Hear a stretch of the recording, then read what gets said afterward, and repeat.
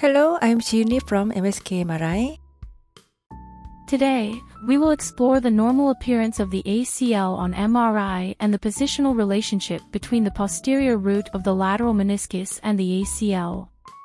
The normal ACL demonstrates low signal intensity on T1 weighted and T2 weighted MRI sequences. You will commonly see heterogeneous striations within the ligament. These are believed to represent fat and synovium, usually at the tibial attachment. This appearance is normal and should not be mistaken for a partial tear. On sagittal MRI with the knee extended, the ACL fibers are taut and run parallel or within 9 degrees of the roof of the intercondylar notch, known as the Blumensaat line. The ACL should not display a horizontal orientation. The entire course of the ACL may not be displayed on a single sagittal image due to the obliquity of the ligament. The anterior margin of the ACL may appear darker and thicker than the rest, corresponding to the anteromedial bundle, while the posterior portion is the posterolateral bundle. These two bundles cannot be well delineated from each other on this single sagittal view.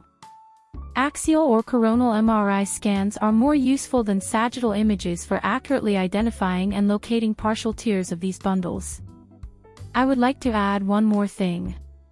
The posterior root of the lateral meniscus mainly attaches to the intertubercular area, with a thin, long ventral extension reaching just posteromedial to the tibial attachment of the ACL. On slightly lateral sagittal MRI images of the central knee, the anteromedial bundle of the ACL is visible anteriorly, followed by the posterolateral bundle, and just posterior to this is the posterior root of the lateral meniscus, with the PCL lying further behind in sequence. These structures are sequentially aligned in the sagittal view. Particularly, a dark signal line parallel to the tibial plateau, which represents the posterior root of the lateral meniscus, is seen at the posterior aspect of the ACL's posterolateral bundle.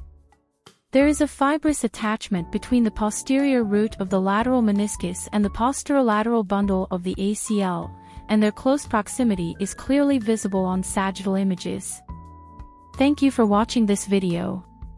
If you found it helpful, please hit the like button.